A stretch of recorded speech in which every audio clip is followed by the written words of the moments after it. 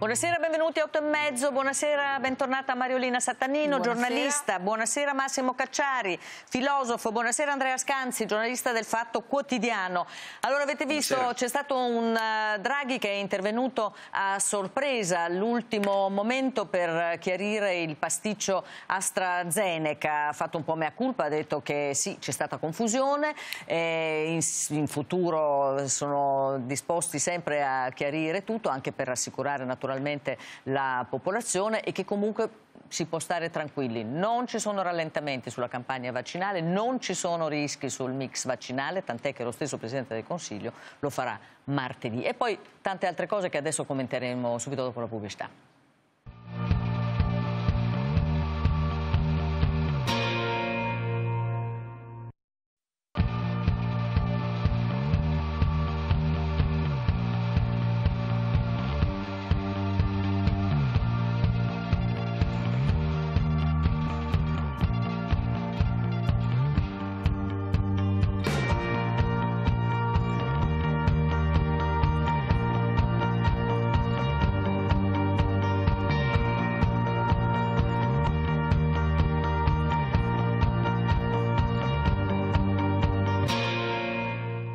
Mariolina Sattanino, allora nessuno si aspettava che eh, Draghi parlasse questa sera, l'abbiamo saputo all'ultimo momento, ha fatto un punto stampa sì. e in un quarto d'ora, 20 minuti, ha chiarito tutto sul pasticcio AstraZeneca. Abbiamo visto un Presidente del Consiglio, questo eh, bisogna dirlo, forse anche un po' nervoso, ma molto perentorio, molto determinato, molto sì, chiaro. Secco e chiaro, è vero, ma eh, bisogna però, è vero, ha detto c'è stata confusione, ma è un po' come l'insegnante che rientra in aula dove, e trova mm. un po' di confusione fra gli studenti. Eh, lui è stato fuori per gli impegni internazionali che sappiamo e, e io credo che... Ehm, che la, la, sua leggera irritazione sia dovuta a tutto il chiasso, a tutta la confusione, a mm. tutti i pareri contrastanti che ci sono stati.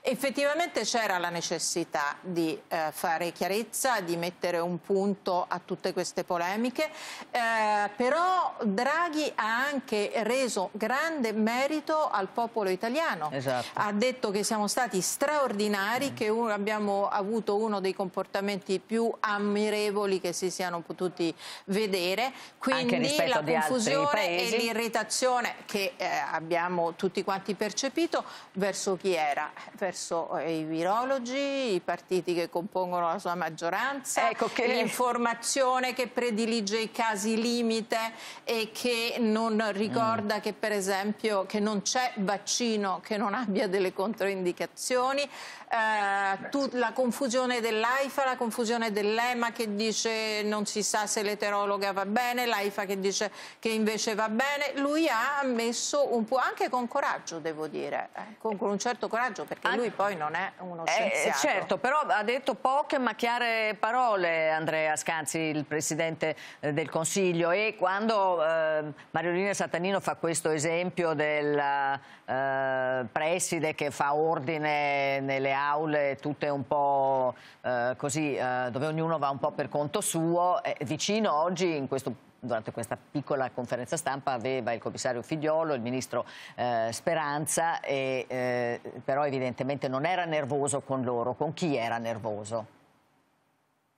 Ma non lo so se non era per niente nervoso anche nei confronti di Figliuolo e di Speranza, perché quella che lui, che Draghi ha chiamato con un certo amore per l'eufemismo confusione, l'hanno provocata anche Figliuolo e Speranza. Quindi se non ce l'ha per niente con Figliuolo e Speranza, secondo me non è lucido e invece secondo me Draghi è molto lucido.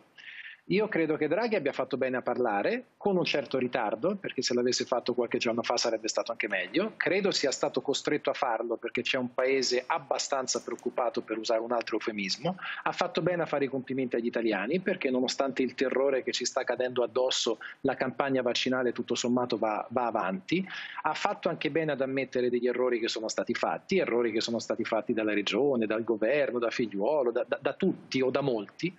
Eh, I due aspetti che io trovo molto importanti nei prossimi giorni, secondo me, sono da una parte eh, rassicurare molto gli italiani su questo concetto della vaccinazione eterologa, perché fa a tutti piacere che Draghi lo farà martedì prossimo. Draghi peraltro non sarebbe neanche tenuto fino in fondo a farlo perché ha più di 60 anni. Diciamo che il problema è più per gli under 60 che hanno fatto la prima dose di AstraZeneca, ma non c'è questa grande serenità nella comunità scientifica. Si dice che forse va meglio la, la vaccinazione eterologa, ma i dati sono pochi.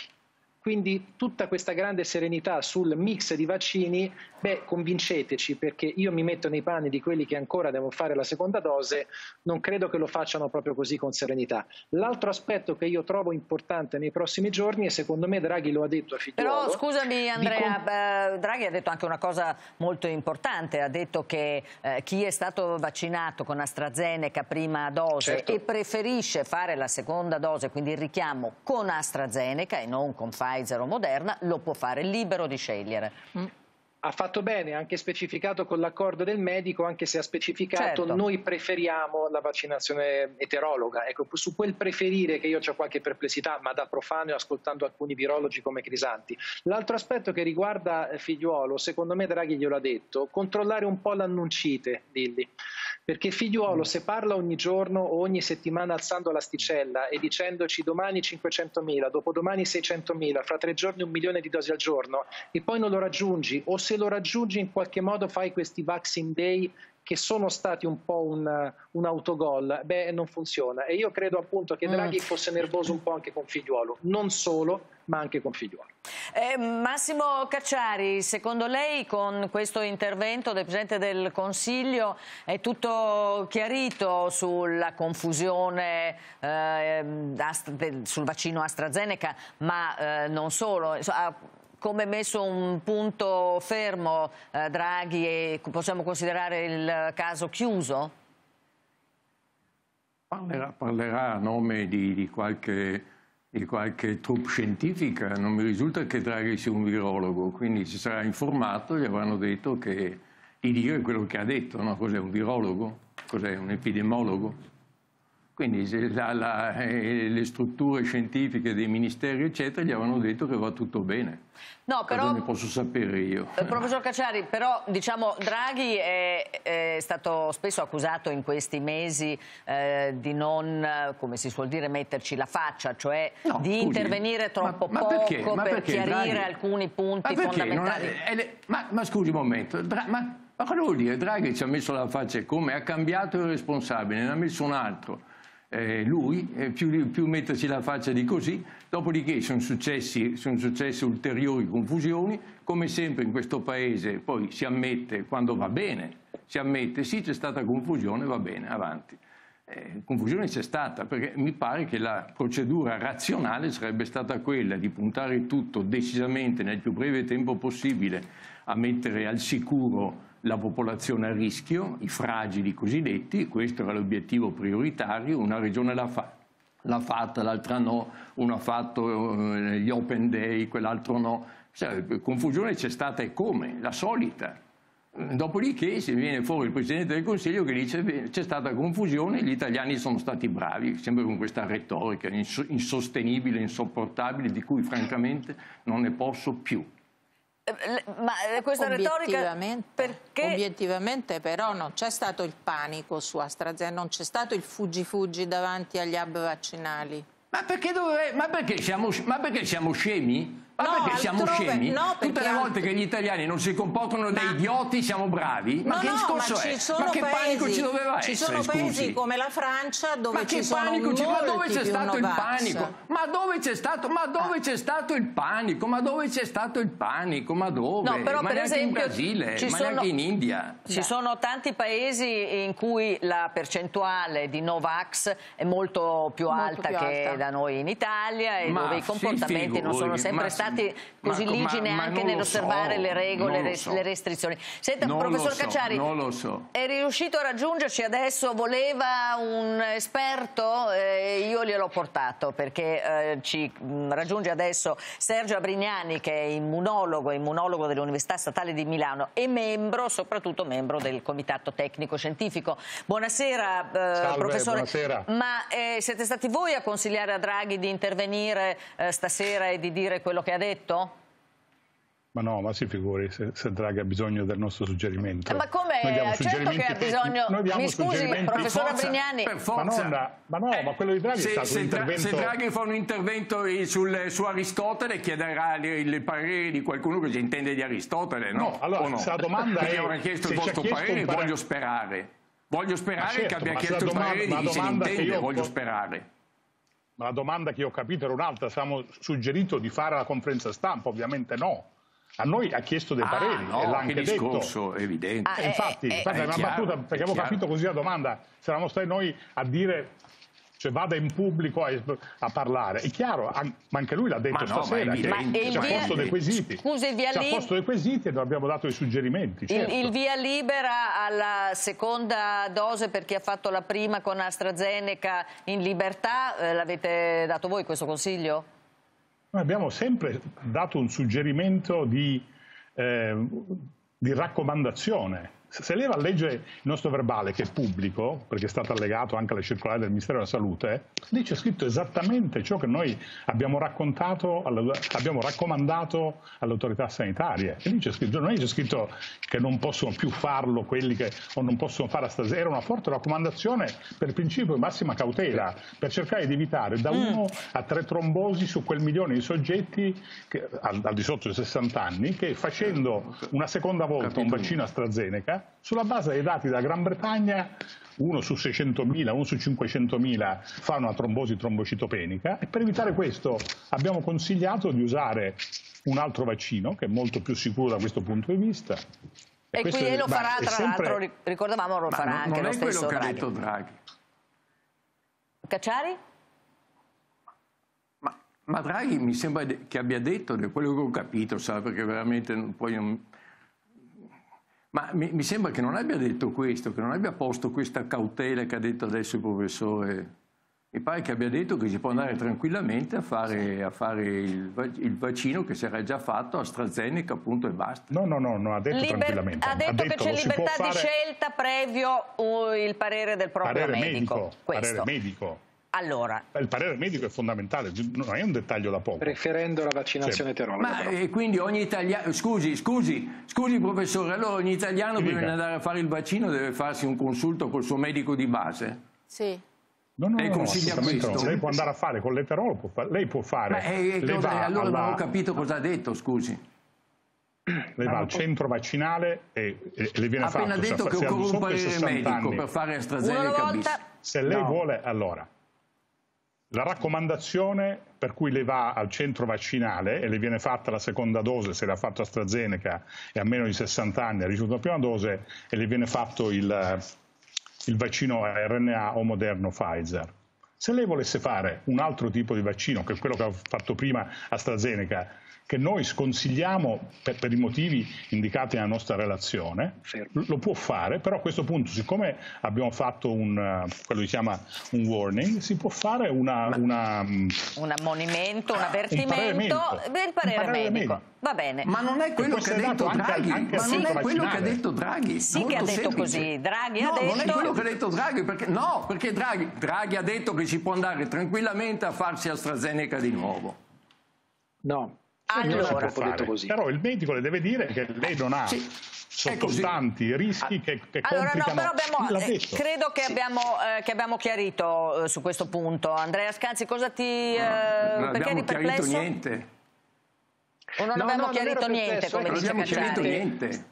No, semplicemente stavano dicendo una cosa simile ma differivano su un concetto. Cerco di riassumerlo perché penso di averlo sentito bene Draghi. Draghi ha detto io la seconda Anch'io. dose per chi ha fatto AstraZeneca la prima e ha meno di 60 anni è consigliato caldamente la vaccinazione eterologa, cioè fate mm. Pfizer e Moderna. Quindi se non dite niente noi vi facciamo Pfizer o Moderna. Qualora esatto. però in maniera del tutto legittima, una persona sotto i 60 anni ha paura perché dice io non mi voglio mischiare i vaccini, a quel punto Perfetto. deve avere il parere favorevole del proprio medico che gli dice sì, a quel punto lo puoi fare, cioè sostanzialmente ti assume la responsabilità. Ma, Parliamoci chiaro, in maniera tale io, che tu ti dici io, io, rischio che, perché preferisco io, e se ti va male poi la colpa che capiate è quello che ho detto. Ma io spero che vi, vivendo nello stesso mondo in cui vivo io, spero che capiate le complicazioni che questo comporta se bisogna andare certo. in cerca del parere del proprio medico di base.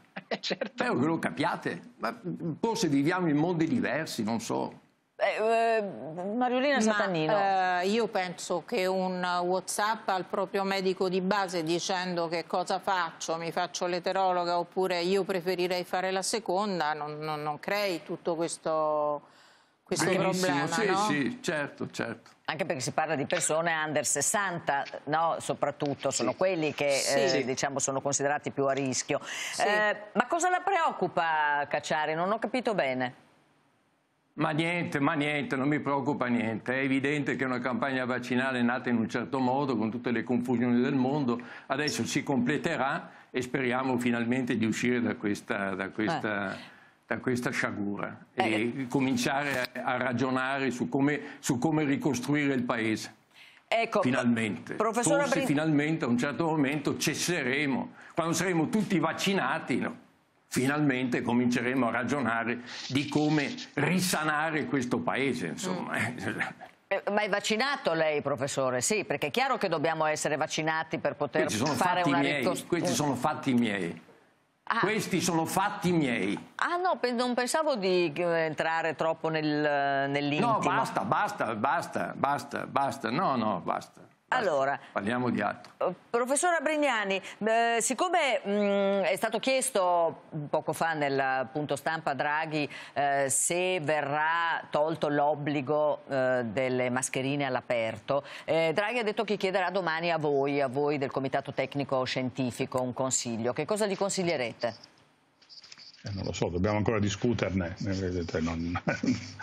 posso dire il mio parere personale, ma non quello che decideremo e lei quando cosa pensa? ci siamo riuniti. Che, che secondo me, visto che in Europa la Francia lo farà il primo luglio, la Germania, alcuni lender lo fanno da fine giugno, siccome quello che ho notato è che l'Europa si muove abbastanza, i paesi in sintonia, giusto per dire una cosa, la stessa cosa che abbiamo deciso noi sul mix eterologo di vaccini è stata decisa anche dalla Spagna, dalla Francia, dalla Germania, quindi immagino che ci allineeremo, non so quando, comunque su questo ascolto gli esperti di igiene e sanità pubblica, sono esperti del tenere o non tenere mascherina all'aperto, che devo ammettere non è la mia competenza. Io sono un immunologo, mi interesso ai vaccini, risposta immunitaria, mix di vaccini, ma non di spazi di sicurezza. Quindi su questo ascolterò i miei colleghi del CTS che sono esperti su questo, esperti di sanità pubblica e di igiene. E, e Comunque, come... quello che immagino è, è come Scusi, come, è, è, come, immunologo il Green Pass eh, anche contro la variante indiana è abbastanza tranquillizzante? Possiamo stare abbastanza tranquilli? Quello che sappiamo è che la vaccinazione con, vaccini, con due dosi dei vaccini oggi disponibili protegge con i migliori vaccini circa l'80%, il 79% in realtà contro il 90%, quindi c'è un calo per quanto riguarda la protezione dalla malattia cioè media o moderata. Dalla malattia grave sembra che siano abbastanza protetti, tant'è che in Inghilterra hanno un aumento di casi, essenzialmente fra non vaccinati, ma anche fra una quota di vaccinati con malattia lieve, ma pochissimi morti e malattie gravi. Ma Infatti non hanno un eccesso di ricoveri. Ma il Green Pass si Quindi... dà, mi scusi, si dà anche con una sola vaccinazione, quando si sa che contro la variante indiana, per esempio, una dose sola non, questo, non questo basta. è un buonissimo punto perché mm. questo è un buonissimo punto che infatti stiamo discutendo perché quello che lei dice è stato riportato circa otto giorni fa il Green Pass è stato discusso due mesi fa, stiamo navigando un mare che non conosciamo, quindi se comparo una variante, fino a 15 giorni fa, chiunque lei avesse chiesto sulla, sulle dosi, sapevamo che tutte le varianti che circolavano con una dose si proteggeva dal 70% e con due dosi al 90% con i migliori vaccini. Dieci giorni fa abbiamo scoperto che con l'Indiana, con la Delta, scusate, non è così. E quindi ora sono sicuro che ci sarà una revisione di questo.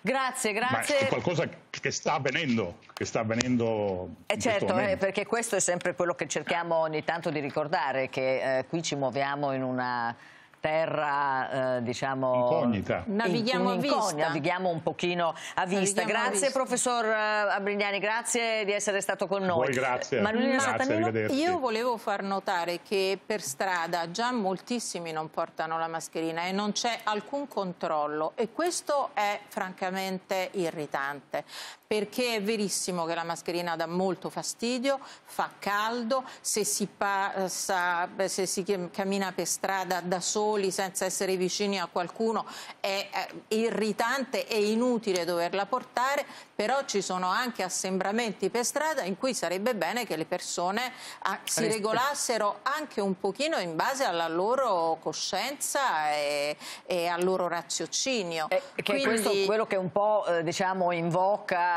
e dice quindi, eh, ecco, il professor se Cacciari. le, no? finché le mascherine si devono portare per strada, vanno portate e se ci sono polizia, carabinieri, vigili urbani che vedono gente che non le porta, soprattutto i pochi Mm. turisti che stanno tornando, bisogna farglielo notare.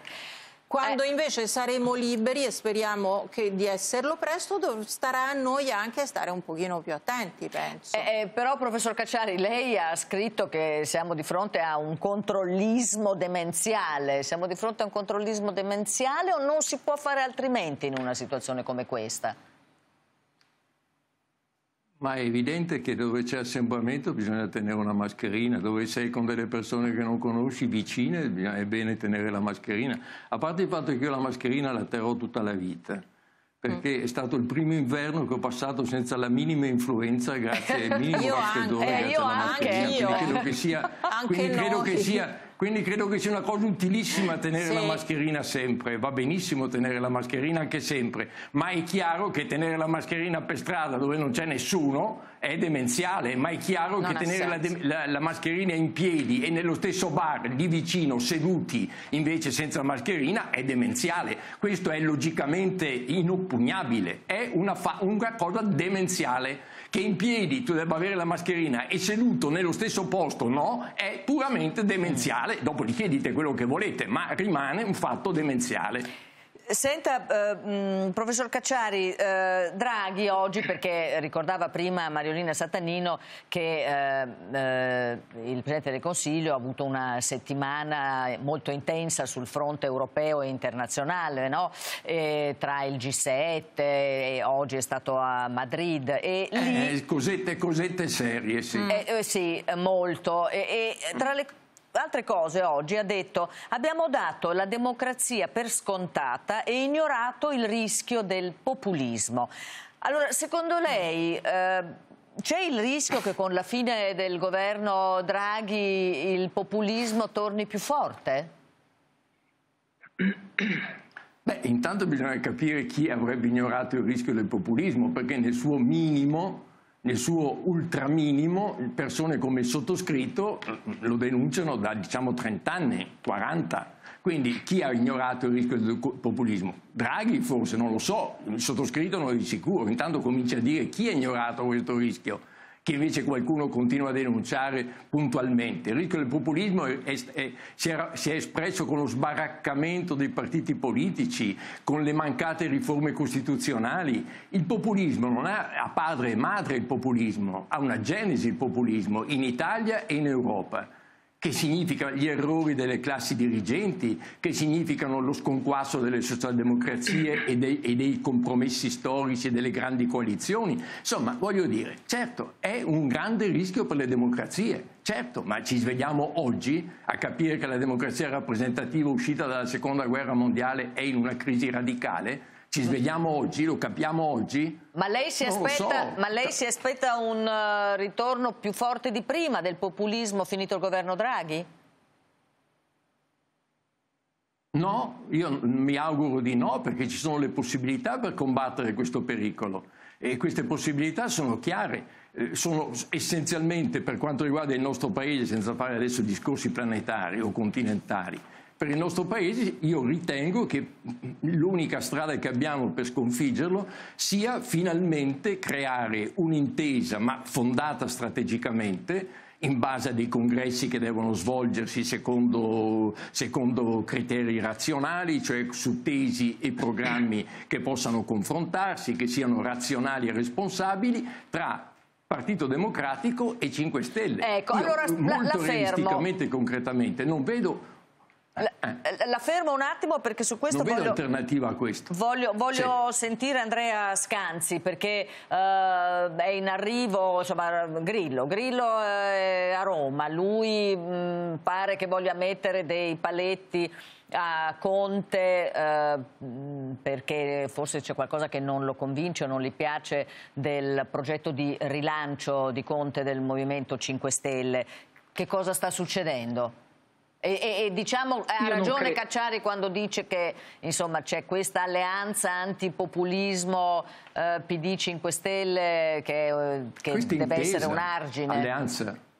Mm. Ma allora, questa auspicata intesa, diciamo che se ne parla da almeno otto anni, spesso prendendo dei fischi e degli insulti. Parlo anche a titolo personale, ma pure Cacciari e pure altri. Quindi diciamo che io sono tra quelli che crede che un'alleanza organica e sentita, eh, creduta da dentro, tra, tanto dal PD quanto dai 5 Stelle quanto dalla cosiddetta sinistra radicale, possa arginare in maniera convincente il centrodestra. Però bisogna che ci credano.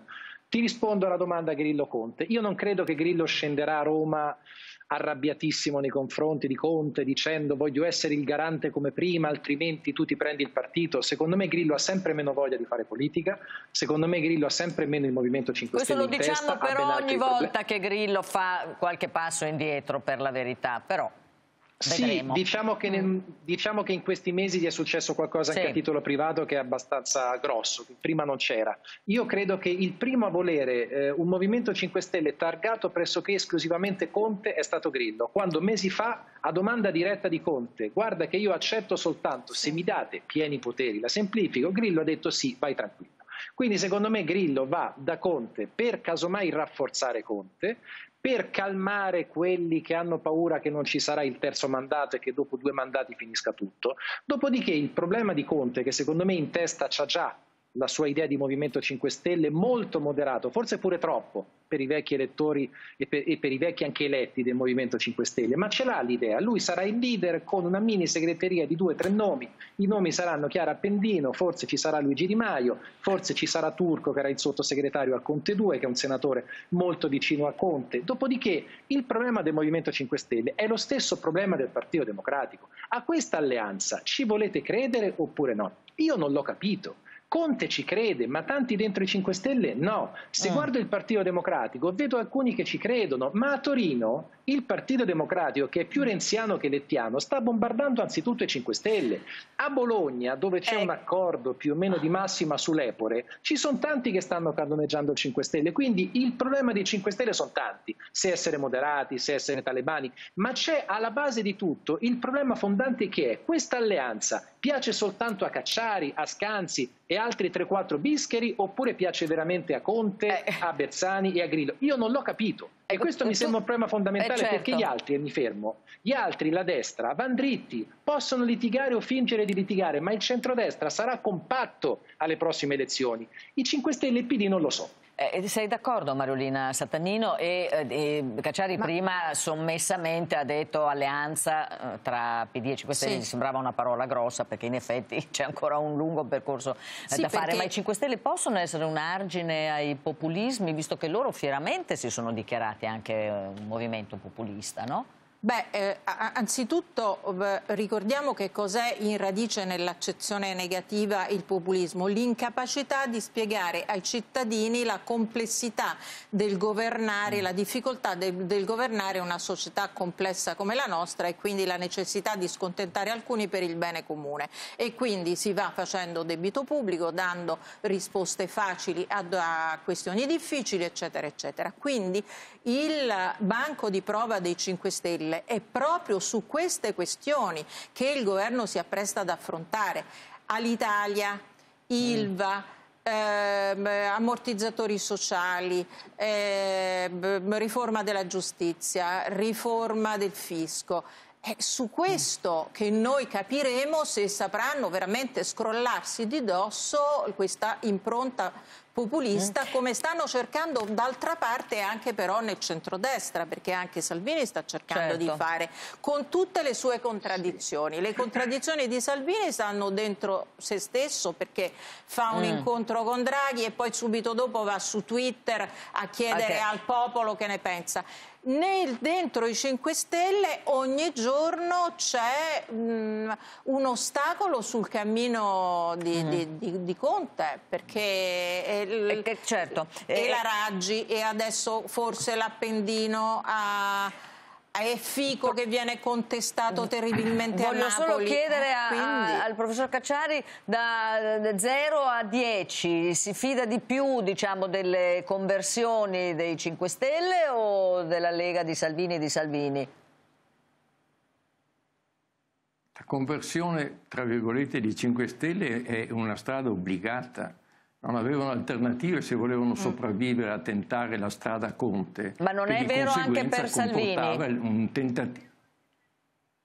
Ma anche Salvini ha una strada obbligata, perché Salvini aveva capito che continuando come prima non sarebbe mai stato riconosciuto, come dire, di fatto un suo governo in sede europea. E se non hai un consenso in Europa, oggi non governi nessun paese, neanche la Germania si governa senza avere una forte intesa, un forte ancoraggio europeo. Quindi è chiaro che sono due conversioni obbligate, quanto, quanto autentiche nell'anima, e questo è anche un po' il problema che, dice, che si poneva prima Scanzi, no? quanto, quanto, ci credono, eh? mm. quanto sono autentiche queste conversioni, quanto queste prospettive possono dare fiducia, questo quanto invece sono soltanto degli stati di certo. necessità e questo se lo si potrà vedere. Eh. Lo vedremo, lo vedremo. Intanto ci sono tanti banchi di prova che eh, li attendono. E, e, e intanto... Le amministrative, e... ma le amministrative sono una diversa dall'altra. Sì, ma non no? solo, a anche Napoli, le riforme. A Napoli eh, stanno...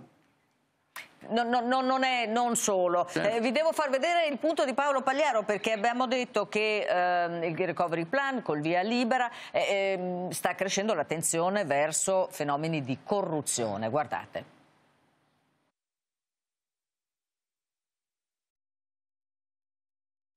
フフフ。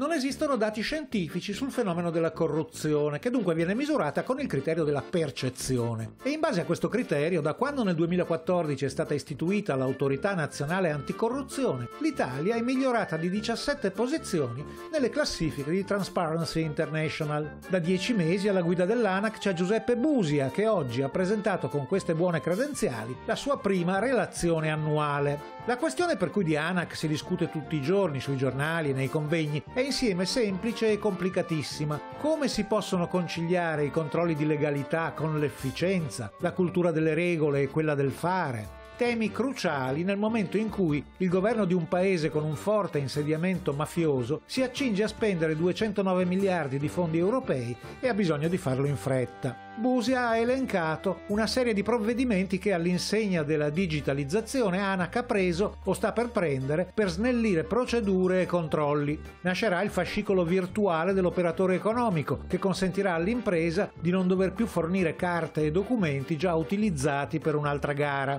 Ci sarà una piattaforma unica della trasparenza basata sull'interconnessione delle diverse banche dati pubbliche. Dice il capo dell'anticorruzione che il piano di ripresa e resilienza realizzerà un una straordinaria redistribuzione di potere economico privato, destinato a durare negli anni. Dunque, occorre evitare che procedure di affidamento scarsamente concorrenziali finiscano per premiare solo le imprese direttamente conosciute dall'amministrazione appaltante o si concentrino nelle mani di pochi operatori più forti e strutturati, a discapito di altri ugualmente meritevoli. Anche a salvaguardare questi elementari principi di democrazia economica servono i vituperati paletti dell'ANAC.